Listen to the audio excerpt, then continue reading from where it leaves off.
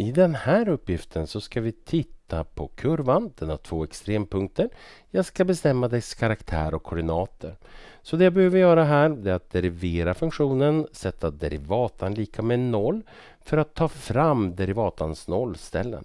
Och sen genom att studera teckenväxling för derivata bestämma om det är en minimipunkt eller maximipunkt och sen också bestämma y-koordinaten. Så, så lite grann låter flödet här. Så jag börjar med att derivera y' så får jag 27 minus 3x upphöjt till 2. Jag sätter derivatan lika med 0. Den ger då att 27 minus 3x i kvadrat ska vara lika med 0. Jag tar och adderar 3x i kvadrat på båda sidor. Så får jag 27 är lika med 3x i kvadrat. Nu delar jag med 3 på båda sidor här. Så då får jag 9 är lika med x i kvadrat. Jag tar kvadratroten nu på båda sidor så får jag att x är lika med plus eller minus kvadratroten ur 9 som är 3. Så jag får två stycken värden, x1 som är minus 3 och den andra som är lika med plus 3. Så här har jag x-koordinaterna för mina två nollställen då för eller jag får då x-koordinaterna för mina nollställen för derivatan. Och det här är också x-koordinaten för mina extrempunkter för funktionen. Så nu tar jag och ritar en tabell. Så jag ritar sådär. Ritar x-värden. f' av x där. Så ritar f av x så. Och så sen så gör vi sådär. Sätter in minus 3 där. Sätter in plus 3 där och så sen har jag en ruta till på det där sättet. Så. Där har vi ungefär tabellen jag behöver. Och så visste jag ju derivatans värde var 0 där. Derivatans värde är 0 där. Så det jag behöver göra nu det är att bestämma vilket tecken vi har för derivatan då. Om x är mindre än minus 3. Och sedan mellan minus 3 och plus 3, vad har vi för tecken på derivatan? Och när derivatans tecken är, eh, vilket derivatans tecken är när x är större än 3. Så vi kan ju ta och sätta igång här då. Om vi börjar vid eh, ett enkelt tal att räkna med kanske minus 10. Så vi tar y' prim minus 10 här. Sätter in minus 10 istället för x så får jag 27 minus 3 multiplicerat med minus 10 i kvadrat. Det här blir då 27 minus 3 multiplicerat med minus 10 gånger minus 10 det är plus 100. Så det blir sådär. Så här får jag då 27 minus 300 lika med och 27 minus 300 det blir minus, vad blir det, 273. Kvällen är sen men jag antar att det blir ungefär sådär va. Minustecken, så derivatan är negativ där. Och så tar jag ett tal mellan minus 3 och 3. Och ett enkelt tal att välja det är 0. Så får jag 27 minus 3 gånger 0 upphöjt till 2. Det blir då 27 här. Sådär. Så det är ett plustecken. Så där har vi ett plustecken. Så då har vi den kvar då. Så då tar vi y'. Vi tar 10 där. Kan vi ta. Så. Då får jag 27 minus 3 gånger 10 upphöjt till 2.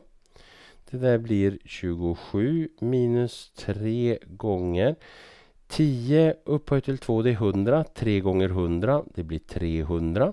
27 minus 300 det är lika med minus 273. Så det blir ett minustecken där. Så funktionen här den är avtagande där. Den är växande där och den är avtagande där. Så där ser den ut. Och det gör ju det att här så ser vi det att funktionens värde minskar och så sen börjar den öka igen. Så här har vi en minimipunkt. Och där går den uppåt för att sen gå ner. Så här har vi en maximipunkt. Och det kan vi också se genom att studera derivatans teckenväxling här. Minus 0 plus, det gör en minimipunkt. Och så sen har vi derivatans teckenväxling plus 0 minus, det ger en maximipunkt. Sådär, men jag brukar ofta använda de här pilarna för att snabbt och enkelt se vad det är för typ av punkt, om det är minimipunkt eller maximipunkt. Och jag tycker det är lättare att komma ihåg, än komma ihåg det här äh, minus 0 plus plus 0 minus. Okej, okay, nog pratat om det. Det vi behöver nu för att tala om koordinaterna det är ju y-koordinaten här när x är minus 3 och när x är 3. Så vi tar och räknar ut y-värdet vid minus 3. Så sätter vi in minus 3 här då. Så får jag 27 multiplicerat med minus 3. Minus parentes minus 3 upphöjt till 3. Sådär. Okej, okay, då ska vi se vad det här blir då. Ehm, um, 27 gånger minus 3. Det här borde bli... Ja, nu står det stilla i huvudet. Vi tar och fuskar lite grann och slår det här på miniräknaren. 27 multiplicerat med minus 3. Det är minus 81. Så jag har här minus 81. Och så sen är minus 3 upphöjt till 3.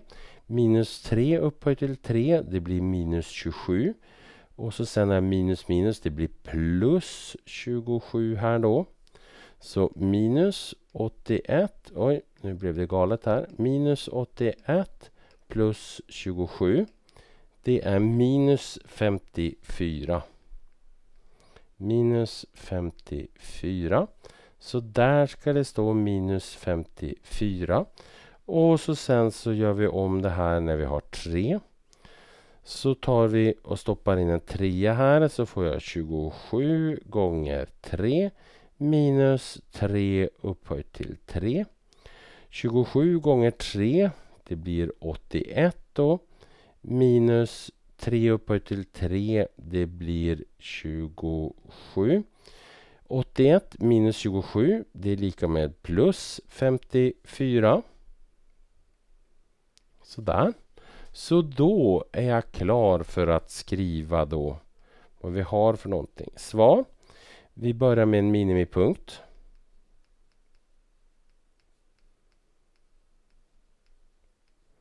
Och koordinaten är då minus 3. Minus 54. Det är ju den här. Här har vi våran minimipunkt. Ska vi ta och ringa in den. Här har vi våran minimipunkt. Och här då har vi våran maximipunkt.